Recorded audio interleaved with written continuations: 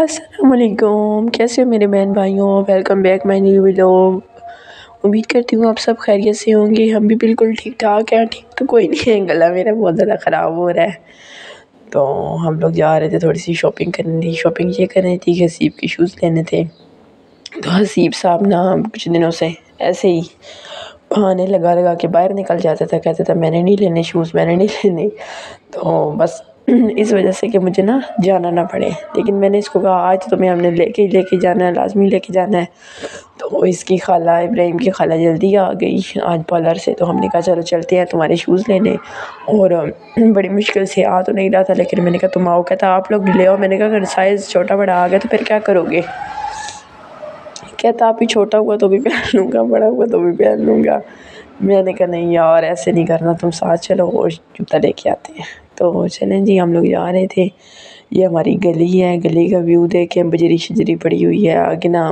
वहाँ से निकलता निकल जा गया मैं अंधेरा भी हो गया। मतलब कि हम लोग चल के जाते हैं जब भी जाते हैं यूनिवर्सिटी रोड हमारे घर के बहुत ही करीब है। करीब ही है थोड़े ही दूर है, लेकिन इस तरफ़ से कोई स्पेशल ऑटो शोटो होते भी नहीं है और ना ही जाते हैं तो हम लोग निकल के नहर क्रॉस करके और अपनी इधर से गुज़र के और आके यूनिवर्सिटी रोड पे चले जाते हैं, कोई मुश्किल नहीं है। तो मोहम्मद इब्राहिम साहब चल रहे हैं, भाग रहे हैं, दौड़ रहे हैं। आज मैंने इब्राहिम इसकी खाला को और हसीब को कहा कि आज ना टोटली इब्राहिम, मोहम्मद इब्राहिम को तुम लोगों ने उठाना है। मैंने बिल्कुल नहीं उठाना। तो इन्होंने कहा जी, चलो हम उठा लेंगे, कोई मसला नहीं है। तो जा रहे हैं, कभी इसको चला रहे हैं, कभी इसको उठा रहे हैं और बात भी ऐसी है कि इन्होंने ही इसको उठाया हुआ है, मैंने तो उठाया ही नहीं है। मैंने कहा, मुझे देख रहा था, मामा उठा लो। मैंने कहा, नहीं, आज मामा नहीं, आज खाला। और मामू उठाएँगे बस, क्योंकि मैं हर दफ़ा मैं ही उठा के ले जाती हूँ, साथ वीडियो भी बनाती हूँ तो मैं तो थक जाती हूँ मेरे बेटा। तो आज ना तुम इनके साथ ही गुजारा चलाओ, यही तुम्हें उठाएँगे। तो ये हुआ कि हम लोग जा रहे थे। और रास्ते पे एक और सीन हुआ कि हमें अम्मा जान टकर गई अम्मा जान कह रही हैं, किधर जा रहे हो? हमने कहा, हम जा रहे हैं हसीब के शूज़ लेने। तो हमने अम्मी को कहा, आप भी साथ आ जाओ। अम्मी ने कहा, नहीं, मैंने आप लोग के साथ नहीं आना क्योंकि मैं तो थकी हुई हूँ, मैं घर जाऊँगी रेस्ट करूँगी। और इब्राहिम कह रहा था, नाना, मुझे उठा लो। बच्चे भी ना, कुछ भी नहीं समझते कि कोई बंदा थका हुआ है, हारा हुआ है, नहीं। इन्होंने अपनी ज़िद लगानी होती है, खैर। बहस मोबाइल से के बाद अम्मी ने कहा अच्छा जी, तुम लोग जाओ और जूता अच्छा सा लेके देना बड़ा भी हो, खुला भी हो, सही हो, जो जल्दी तोड़े ना। एक तो माओ को भी बड़ी फ़िक्र होती है अपने बच्चों की। ज़ाहिर है, हमें है तो हमारी माओ को भी तो हमारी होती है ना फ़िक्र। तो ये अम्मी के पास से माल्टे और ये छोटी भी मेरी बहन है, ये कह रही थी, मैं तो खाऊँगी माल्टा। तो मैंने कहा यार, सर्दी है, रास्ते में जा रहे हैं रहने दो, माल्टे ना खाओ इस मौसम में। तो हम पहुँचे यूनिवर्सिटी रोड पे। मोहम्मद इब्राहिम साहब बहुत ही खुश एक्साइटेड हो गए हैं कि हम लोग इम्तियाज़ मॉल पहुँचने वाले हैं। तो हसीब इसको छेड़खानी कर रहा था। हसीब के साथ ना हम लोग बहुत कम आते हैं। मतलब कि जब भी हम लोग आते हैं ना तो हसीब हमारे साथ नहीं आता। तो आज हमारे साथ हसीब आया। एक दफ़ा पहले हसीब आया था दो तीन साल पहले जब न्यू न्यू ओपनिंग थी इम्तियाज़ की ना। तो तब हमने हसीब को यहाँ से ईद के लिए ना लेके दिए थे, कपड़े लेके दिए थे, जूते लेके दिए थे। तो अभी इब्राहिम काफ़ी टाइम बाद उधर एटीएम थी तो इब्राहिम साहब कह रहे हैं मम्मा एटीएम यूज़ करें एटीएम चले। इसको बड़ा पता है कि हम लोग एटीएम से पैसे निकालते हैं। तो ज़ाहिर है, बच्चों को पता होता है, बच्चे बड़े चला के हैं, आजकल के छोटे छोटे बच्चे भी। अल्लाह ताला बच्चों की लंबी ज़िंदगियाँ करे। तो माँ बाप का तो यही सहारा होते हैं। चाहे बच्चे बड़े भी हो जाएँ तो माँ बाप को तो छोटे ही लगते हैं। माँ बाप का सहारा होते हैं और अपने माँ बाप का सहारा बना करें। और ज़्यादा नहीं ना, बहुत ज़्यादा नहीं तो थोड़ा ख्याल रख लिया करें। तो खुश हो जाते हैं और जन्नत भी मिल जाती है। कुछ लोग तो बिल्कुल भी माँ बाप को तवज्जो ही नहीं देते, अहमियत भी नहीं देती। मेरी उनके लिए भी रिक्वेस्ट है कि अपने माँ बाप पे थोड़ी तवज्जो दे दिया करो। अब मैं हूँ ना, बेशक लड़ती भी हूँ, लड़ भी लेती हूँ कभी कभी लड़ाई भी हो जाती है, लेकिन मेरी अम्मी मेरे पास रहती हैं और मैं अपनी अम्मी का बहुत ज़्यादा ख्याल रखती हूँ। मेरी अम्मी बीमार होती हैं तो मुझे टेंशन मच जाती है कि अम्मी को क्या हो गया है। तो आप लोग भी अपनी माओ का ख्याल रखा करें, मेरी आप सब लोगों से रिक्वेस्ट है, ये बस एक दफ़ा आई हैं, जब ये चले जाएँगे ना तो आप लोग पछताएँगे। तो हम लोग इधर मॉल पहुँचे, मैं आपको कपड़े दिखाऊँ, मोहम्मद इब्राहिम के लिए कपड़े देख रही थी, अभी नहीं, मैंने कहा ईद के करीब लेके जाऊँगी, अभी मेरे पास पैसे भी बहुत कम है, मैंने कहा जब थोड़े हालात सेट होते हैं ना ज़रा एक तो महँगाई इतनी हो गई है बंदे को समझ नहीं आती। जब न्यू न्यू ओपनिंग थी ना, बहुत ज़्यादा सस्ती चीज़ें थी। कपड़े बहुत ही सस्ते थे, सात सौ में ना बच्चे के लिए मिल जाते थे। और ये अब देखें अब ये तीन तीन हज़ार के हैं और काफ़ी ज़्यादा महँगे हो गया। मैंने कहा, इससे बेहतर है बंदा बेबी केयर से ले ले, लेकिन ये मुझे पसंद बहुत ज़्यादा आ रहे थे। फिर मैंने कहा, चलो, ईद पे ले जाऊँगी। जब इसके बाबा ना इब्राहिम का ख़र्चा देंगे ना तो इब्राहिम के इंशाल्लाह ले के जाऊँगी। कपड़े ना दो तीन सूट ले लूँगी और कुछ बनवा लूँगी।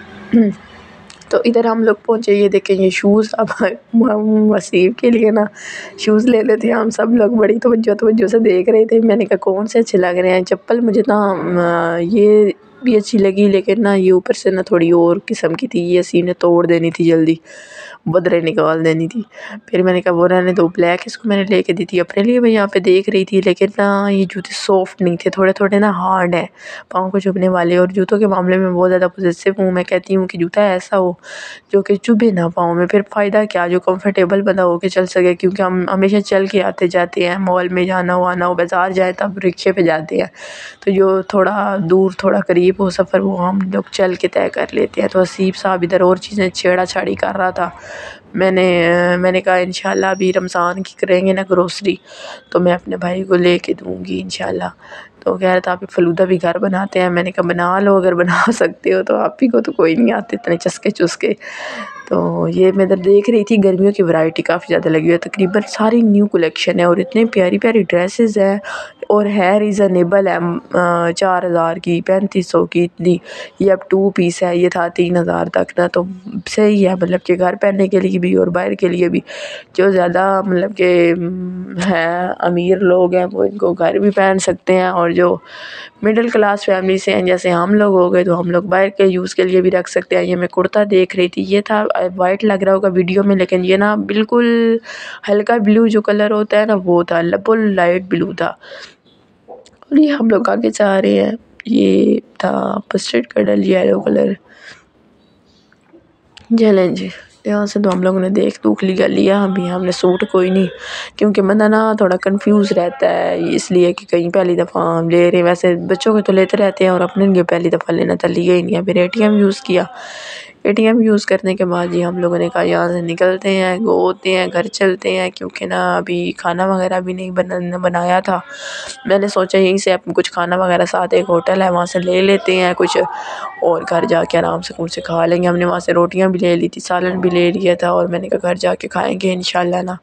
तो ज़ाहिर देर हो गई थी मॉल में फिरते फिरते और फिर बंद थक भी जाता है, चल के आना होता है चल के जाना होता है, कौन बनाए घरों में जाके ना दोबारा से दोबारा रोटियाँ शोटियाँ मैंने कहा, मेरे से तो कोई नहीं बनाई जाती, मैं तो छुट्टी हो गई है, मेरी तो आज तो एक तो महँगाई भी इतनी है, जो चीज़ लेने लगो मदे को सही करके ना समझ आ जाती है कि वाकई पहले वो लोग सस्ता तरीन खाना खा लेते थे, थोड़े से पैसे ले, ये नीचे की तरफ़ लिफ्ट जा रही है। मैं भी बातें काटने लग गई हूँ, ये नीचे की तरफ़ लिफ्ट जा रही थी बेसमेंट पे, और ये आइसक्रीम वगैरह वाले बैठे हुए थे कौन वगैरह वाले। वैसे भी ठंड है, मैं तो मोहम्मद इब्राहिम को बिल्कुल भी नहीं लेके देती। आप लोग भी एहतियात किया करें, बच्चों के गले ख़राब हो जाते हैं, और ज़ुकाम लग जाते हैं। फ्लू ऐसे गंदे ज़ुकाम लगते हैं, जो कि ख़त्म ही नहीं होते। और बच्चों का ख़ास ख्याल रखा करें ये जो जाती जाती सर्दियाँ होती हैं ना, ये भी बच्चे को बहुत ज़्यादा बीमार कर देती हैं, निडाल कर देती हैं। और एक आने वाली सर्दियों से बच्चों को बचाया करें और एक जाने वाली सर्दियों से। ये दोनों सर्दियाँ ना सही टिका के बच्चे को अगर लग जाए ना तो फिर कोई फ़ायदा नहीं है। बच्चे बहुत ज़्यादा बीमार हो जाते हैं और ऊपर से डॉक्टरों के पास ले भागो बार बार और बच्चे की वो जो होती है ना, एक एक्टिव जो बच्चा होता है, वो बिल्कुल सुस्त हो जाता है इस मौसम में। तो मैं बहुत ज़्यादा एहतियात करती हूँ इब्राहिम के लिए, दूर से व्यू देखे कितना प्यारा लग रहा है यूनिवर्सिटी रोड का ना। ये मोहम्मद इब्राहिम को इसकी खाला ने उठाया हुआ है। मैंने, वही मैंने आपको बताया ना वीडियो के शुरू में कि मैंने बिल्कुल नहीं उठाना। उठाना है तो इन्होंने नहीं उठाना है। तो ये पार्किंग पे सामने कुछ लोग गाड़ियाँ लगा लेते हैं, लेकिन अंदर भी पार्किंग है बेसमेंट भी है, लेकिन अंदर बाइक की है, अंदर गाड़ियों की नहीं है पार्किंग जी जी। तो गाड़ियाँ जिनके पास होती हैं, वो बाहर ही खड़ी कर देते हैं और अंदर ये इसकी खाला कह रही थी, वीडियो बनाओ इब्राहिम की खाला। हसीब से वीडियो बनवा रही थी और असीब साहब वीडियो सही नहीं बना रहे थे, जो कि उसको गुस्सा आ रहा था। वो कह रही थी, मैं तुम्हें मारूँगी। मैंने कहा, यार, रोड है। ऐसे ना करो। मुझे कह रही थी, जब खुद बोलने लगती है तो खुद चुप नहीं करती तो मैं बोल रही हूँ तो तुम्हें क्या अच्छी हो रहा है? मैंने कहा, यार, ना बोलो। तो फिर ये देखिए, मोहम्मद इब्राहिम पत्नी किस चीज़ से डर रहा था। मुझे कह रहा था, मम्मा, उठाओ।